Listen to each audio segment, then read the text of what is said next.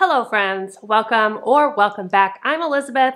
This is Reading Wryly where we like to read wryly, not take ourselves too seriously and have some fun with books. And today we're starting a reading vlog. I'm going to read three new release thrillers starting with the new Karin Slaughter. I'm also going to read Not a Happy Family by Shari Lapena and then finally For Your Own Good by Samantha Downing. I am recording this in retrospect. I actually already opened this vlog like a week ago and my external microphone was not connected and it just sounded like crap. So I'm refilming it at this point. And so I'm just gonna kind of go over what I did tell you in that clip so that you're not confused moving forward. so to start out, at this point, I had started False Witness by Karin Slaughter. I wanted to point out the similarities between this and Pretty Girls. We have this distinctive sisterly bond in both Pretty Girls and False Witness. In False Witness, we're following Lee and Callie. The way Karin Slaughter writes these characters is just so good. She's so good at characters. They are flawed in a way that you love them because they're not perfect, but they're also both have these amazing character arcs where they are have a very specific point of view and very specific goals and challenges to get through. I just love that so much. Lee is a defense attorney in the story and Callie is a drug addict and they both are struggling with a lot of trauma. This book is dark like Pretty Girls was. I don't think it's quite as dark, but it's pretty damn close. Also, another parallel that I drew between those two books was this dynamic between Lee and her husband. So in this book, she's married, but they're separated. She has a, Denny, get out of there. She has the love of this man. Like he adores her. With flaws and all, he just loves her and he's such a good guy. But because she's dealing with all of this traumatic stuff from her past, she will not allow herself to fully open up to him and to fully accept that love because she feels like she's not deserving of it. And so she pushes him away to the point where they separate. In the process of everything that she's going through in this novel, I think she starts to understand why and starts to be able to open up to him. That I noticed in, I can't remember the sisters' names in Pretty Girls right now, but what doesn't it say? Lydia. Oh, that's it. Okay, so Lydia has the same kind of situation in Pretty Girls where she has the love of this man, but she won't let him in either. So we get all of that juicy goodness, getting to know these these characters like we did in the other book, and but it's a completely different setup. Oh, also, um, there's a lot of social commentary. She does mention COVID quite often, but I don't think it gets in the way of the narrative. In fact, I felt like it drew me in because I could relate and she talks a lot about social issues in this book, which I'll get into more later. In the clip after this, you're gonna see me exercising and you're gonna be like, why is this bitch exercising? Well, here's why, because I started doing the Chloe Ting two week challenge thing. At this point, it was my third day and every muscle in my body was hurting and I usually stop when that happens, when I start to feel like I'm about 800 years old and I can't even sit down on the toilet like a human, but I didn't, so I'm very proud of that. But yeah, so this is me, just a quick little clip of me exercising, and I think that's really all you need to know at this point moving forward to not feel confused. Darling, That's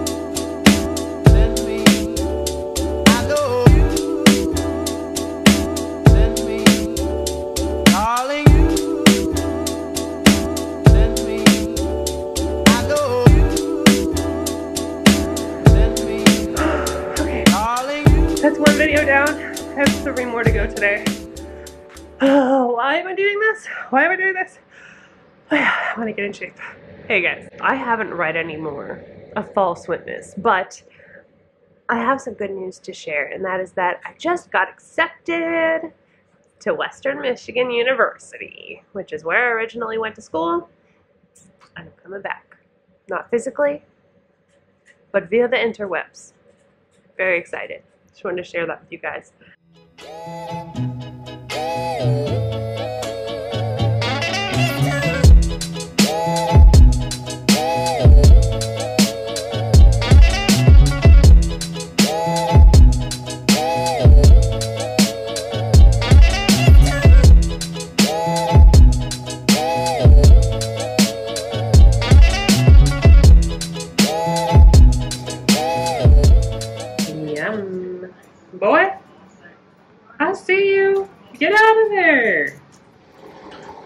Good morning. I am making coffee.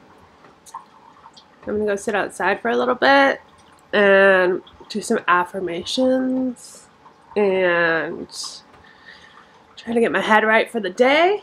And then I'm gonna work out. I'm not awake yet. I'll check in later. Hey. What you doing? Okay. Okay, I found this affirmation last night that like is really just you know? And it's longer than this, but the part that's hitting me is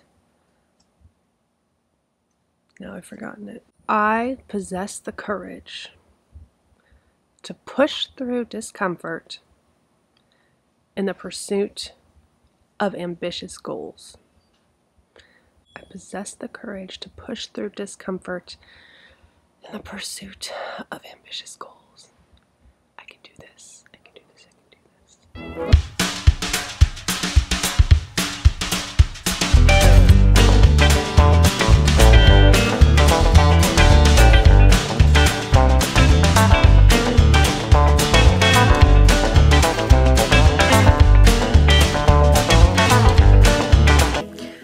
Checking in with you. So I've run a bunch of errands. I got all my exercises done. I've been listening to False Witness. Pretty productive day. Cleaned the house, did all that stuff. Denny, I need you to chill. I started into the real game, y'all. The real game on Instagram. Get it? Real game. You came for the books, you stayed for the mom jokes. Danny! No! Alright, go get it. If y'all aren't following me on Instagram, hop on over. It's Reading Wryly, same as this. Come on over. I'm doing some fun reels. I'm having fun with it and being creative. So I'm on chapter 23. I've got two hours left of the audiobook at the speed I have it on right now. And it's like a 14 hour audiobook. So I'm pretty far into it. Let's see. Yeah, I'd say I'm about 85%. I don't know if you can, can you see it? Yeah. And this one is probably going to be my next read. Not a Happy Family. Looking forward to that too. But anyway, tonight I'm going to do more reading for the next hour. Just hang out and relax. And then tonight, my husband and I are doing Dining in the Dark. So I'm really excited for that. It's supposed to be like a dining experience where you you're blindfolded or it's just pitch black or something and you eat a meal in the dark. I don't know. But before that, he has agreed to take me book shopping.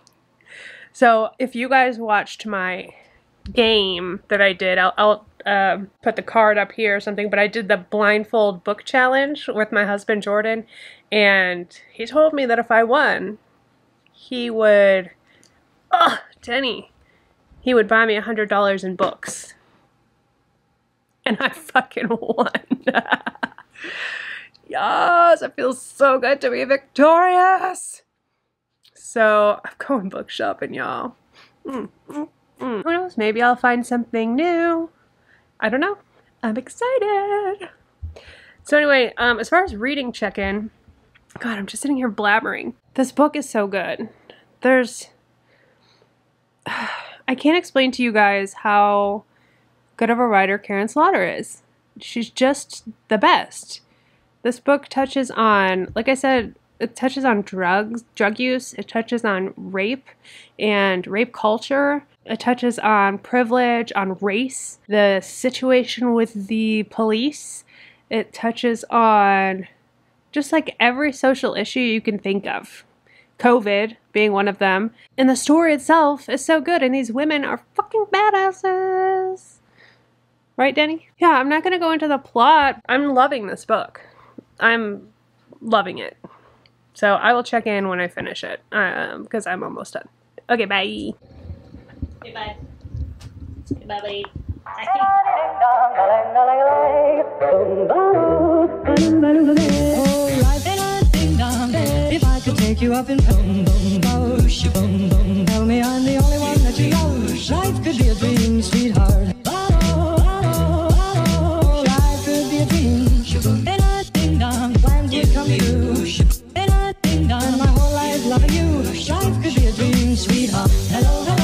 Ding dong, a lang, a lang, a lang. Boom, ba, ba, ba, ba, ba, a a a a. Let's make a prediction for what we think the food's gonna be.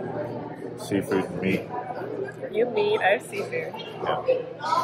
If You're just getting if fish. we go wild guess, You're definitely getting fish. I think mine's gonna be sea bass. I'm gonna get some mediocre steak. Like a sirloin or a ribeye.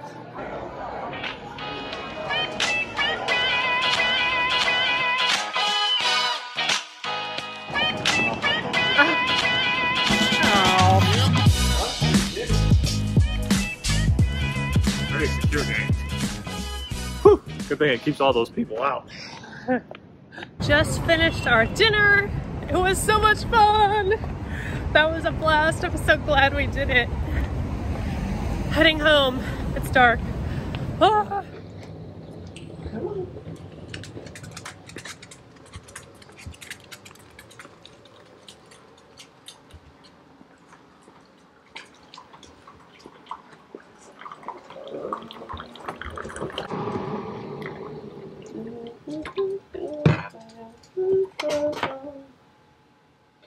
Tiniest spoon in the world. Mm, yum.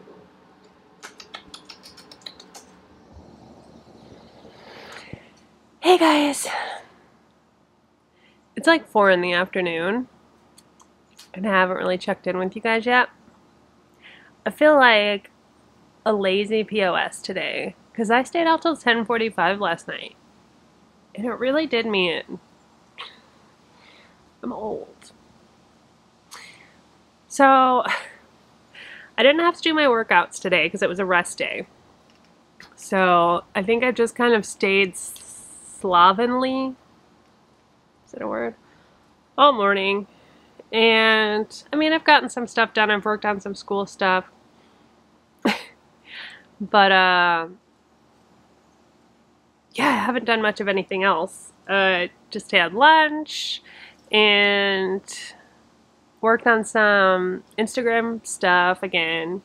And I finished False Witness. So let's talk about this book. I initially thought this was going to be a five star read. I really need to stop saying that before I finish because it wasn't a five star. The end kind of dragged out, and I really wanted more twists out of it than I got. But that being said, it was a good book. I really enjoyed it. Uh, I mean, I'm giving it four stars. I looked at some reviews afterwards, and I've seen some people complaining about the COVID rhetoric, the pandemic rhetoric. I can see how that would bother some people, so I just kind of wanted to let you guys know that it is a part of everyday life in this book, like it is a part of our life. And if that's something you just don't want to read about, then don't read this book. But if that's something that you're interested in hearing about from other people's perspective, and especially from the legal perspective, as far as like court hearings and everything like that, and how it's handled, and just uh, there's just a lot of references to masks and who's wearing masks, and you know the stuff that we have to go through when we go out in public now, and things like that. So if again, if that's something that you don't want to read about, don't read this.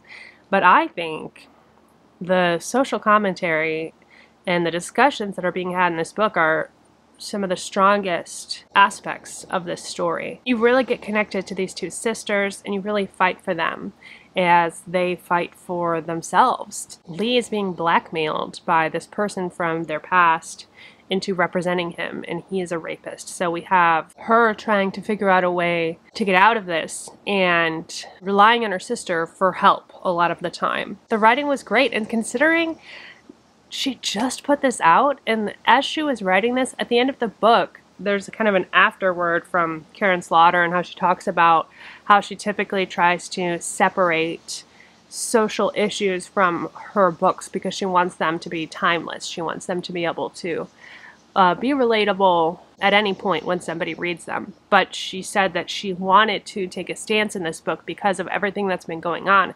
She couldn't just stay silent about it, and that this book represents her specific, unique perspective. And I just respect her so much for that. The things she talked about were so well done, aside from the narrative of the story. And the story itself was really good too, so I really liked it. It wasn't quite as twisty as Pretty Girls. You still get really invested in these characters and you still root for them. So moving on, I have read, I was trying to decide what to read next. So I read the first chapter of Not a Happy Family by Shari Lapena and also A Familiar Sight by Brianna Labuskes. And right now I am the most interested in Not a Happy Family. So I'm going to continue on with that.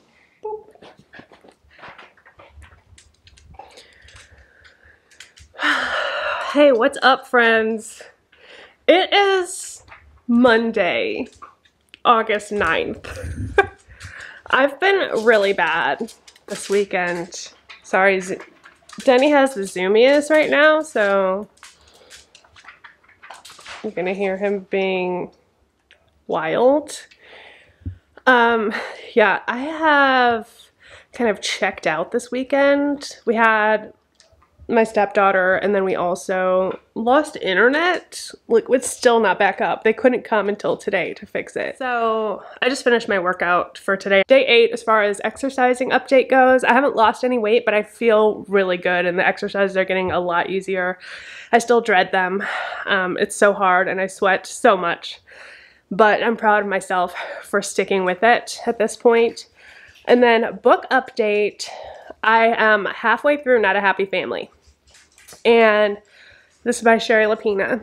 So far, I don't know how I feel about it, to be honest. It's very much reading like a murder mystery. It's not reading like a thriller at all. I'm halfway through and like nothing thrilling has happened. But basically the setup is that, Denny, can you relax for like two seconds so I can talk to the people? oh my gosh, that's a no. I have this family in New York the parents are really rich. They have three kids and they all get together on Easter Sunday and have their dinner and they all have problems. And the next day they found out they find out the parents have been murdered. Each one of these siblings has motives to kill their parents for the money for one way or another. Catherine, the oldest, she wants the house. Dan, the middle kid, he has a grudge against his dad because his dad got a really good offer for his business that he was kind of grooming the son Dan to take over one day and he got an offer to sell the business and so he just sold it and now Dan is like destitute, can't find a good job and his dad won't lend him any money. His dad's a total asshole. This guy is a, prick. Then Jenna is risking getting her allowance cut off. She's an artist. So they all have motivations to kill their dad, not necessarily their mom, though they both end up dead.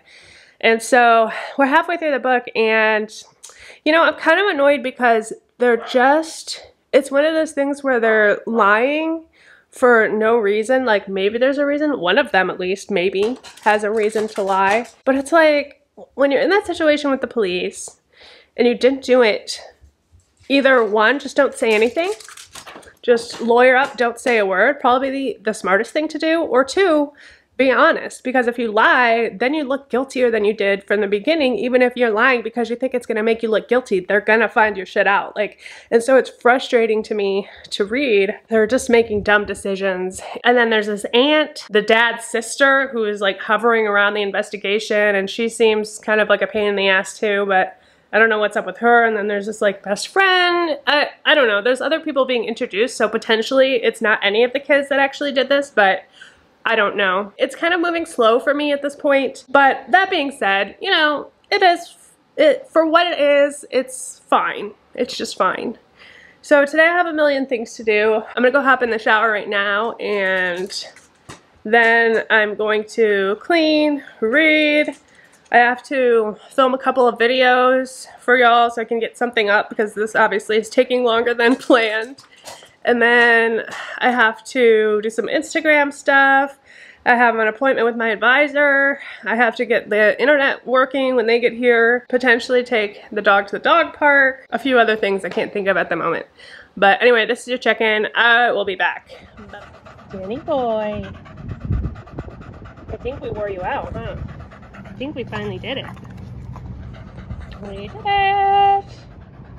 We're at the dog park. And no one else is here. Boo. Hey y'all. Okay, I need to check in. Oh my gosh. I'm sorry. I'm doing really bad at vlogging. I started strong. I started strong. But it's come to this. I have to update you guys. I finished Not a Happy Family. I didn't love it. Don't go into this thinking it's a thriller because it's not a thriller. It is a murder mystery. And that's fine. Even that being said, I was disappointed.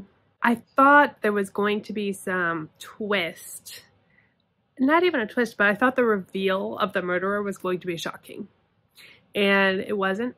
I felt like it was mediocre. It was fine. Like I got into it. I'm not mad at it. Like I, I, was into it and I was happy to be reading it. So it's not like I was actively disliking this book. I was just hoping to be fooled. The person it turned out to be, I mean, I thought that from the beginning, but then it just seemed too obvious. So I didn't want to go there, but that's where it went. So yeah, I I don't know. I, I'm just not super happy with this, especially after reading The Couple Next Door, which I really enjoyed. I thought this was going to do more for me, and it just didn't. That's all there is to it. I think I'm between two and three stars, maybe 2.5. I'm not sure. But yeah, overall, just not impressed by it. Putting aside that I was expecting to be thrilled because I thought it was a thriller, and putting aside my expectations and all of that, even from the lens of this being a murder mystery instead of a thriller, it just wasn't great. And I hate to say it. This is my second Shari Lapena. And so now I'm kind of in the middle here. I'm not sure what to think of this author because I really liked Couple Next Door and didn't really like this one. So I'll have to do a tiebreaker let me know if you guys have any recommendations for a good Shari Lapena. Right now I'm a little bit disappointed. But that being said, moving on, I also have started For Your Own Good by Samantha Downing and I did tell myself I was going to read her last book before I did read this one, but I totally forgot and I started it. So, you know, I can still read the other one. I think it's called He Started It. He Started It? What it's called? I don't know. I'll correct myself if I'm wrong. I'm actually pretty far into For Your Own Good. think I'm like 70 or 75% through this. How am I feeling about this? I'm kind of, it's kind of been a roller coaster ride for me.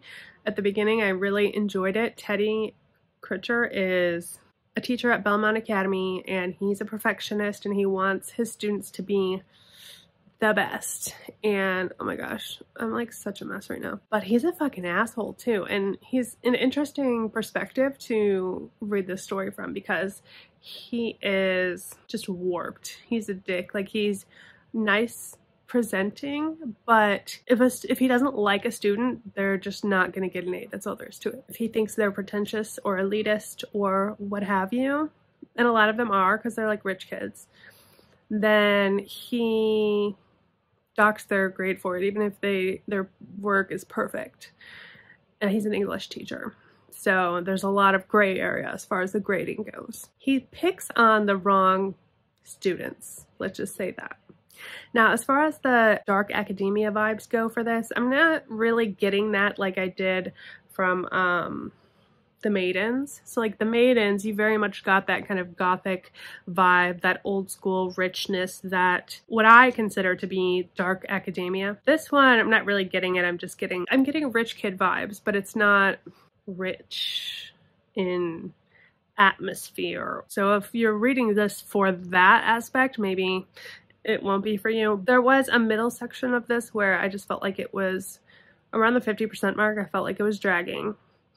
And it does feel a bit long, but I am now getting drawn back into the narrative and enjoying it again. There's more going on than meets the eye. There's there are things below the surface that are interesting. I'm not loving it. I'm not hating it. I do like Samantha Downing's writing. Oh, one thing she did though that really bothered me was she brought up COVID one time. Just in passing, the kids were talking and they were like, oh, I hope it's not the Rona or something like that. And I, that bothered me because it's like I just read that Karin Slaughter where she talks about it and she actually says something about it. But this one, it felt more like it felt more contrived, like she wanted to mention it to be relevant, whereas Karin Slaughter had to mention it to say something about it. It's like, okay, um, so this is set in 2021 or 2020 and they're supposed to be wearing masks, but then why didn't you mention that ever again? Like, obviously that's a part of life, but it's not any other part of the story, so I didn't like that they mentioned that. From right now, from where I'm standing, I feel like it's probably either a 3.5 or a 4 for me. If there is some twist that I don't know about, it's going to be a 4 but it's weird because you know everything that happened. Like, you know, it's not like the family next door where it's a murder mystery. Like, you know from the start what's happening, who's doing it, how they're doing it, all of that. So, in that sense, I don't know that there is going to be some kind of reveal as opposed to just a natural conclusion. I'm hoping that there's some kind of stinger in here because that's what I live for. So we'll see. And I will touch base with you guys again after I finish it. Hopefully that will be tomorrow. okay, guys, so I finished For Your Own Good. And so I'm to kind of talk to you about that while I'm making my lunch. Oh my god, I'm so excited for a grilled cheese. I've been craving pizza like like a mad person. Like I want pizza so bad. And before I started like trying to eat healthy and doing all this stuff, I ate pizza. My husband and I both ate pizza like at least twice a week. And I miss it. I miss pizza so much. But we have been eating healthier. So that's good. But I'm gonna have some pizza soon. Because I want it. I just finished For Your Own Good this morning. And I'm not gonna lie, I I was not happy with the ending. Which is unfortunate because when I read My Lovely Wife, I was so obsessed with it. Like, I thought Samantha Downing was one of those writers, like Karin Slaughter, that is just brave, that will go there, that will take it there. You know what I mean? I don't necessarily feel like she did that in this novel. I did enjoy the perspective of Teddy Crutcher, who was our main character. And I did enjoy that it wasn't your typical mystery or like murdery setup. Like I liked that it was it was unique in that regard as to kind of how everything went down in our perspective. I guess it's mainly our perspective because we are following from inside his mind. And so you get to know things that you wouldn't typically get to know. But I didn't necessarily feel like there was any big twists. Like there were a few things where it was exciting and it kept me moving forward in the narrative and in the story, but I also felt like I wanted the last little bit to be some kind of shocking moment and I didn't get that and I hate to end this vlog um, on a low note because I wanted to love all three of these and I honestly thought I was going to love all three of these. It just didn't work out that way. So yeah, I think I'm going to end up giving this 3.5 stars. The ending I actually thought was kind of cheesy. It was like Samantha Downing wanted it to be more effective than it actually was with like the last sentence. It kind of ties back to the title. But I was just like, okay Okay, is it going to be... Okay, so where this left off, if there was another book, like it seemed it was kind of like a cliffhanger, like it doesn't need to be to have another book in the series, but it could. And if it did, that might be cool. I didn't feel like it was as gritty as Samantha Downing's previous book that I read was. I more than liked it. So that's 3.5 stars but I'm just not, I can't praise it like I wanted to praise it. Um, but I'm still going to read He Started It. I still want more from Samantha Downing. I just hope that whatever book she comes out with next, she really like takes it there and really just goes that extra, extra mile to the grit and the darkness and the, you know, and that like, Urgh. so I'm going to wrap up this vlog. But if you are still watching this, thank you so much. I appreciate you more than you could know. And if you want to see more videos like this, then and you haven't yet, please hit that subscribe button. It really helps me out and I I just could not be more thankful for those of you who are subscribed to me. I just I just love you so much. Yeah, I'll see you guys next time. Don't forget, life is short. So read wryly. Cheers and goodbye.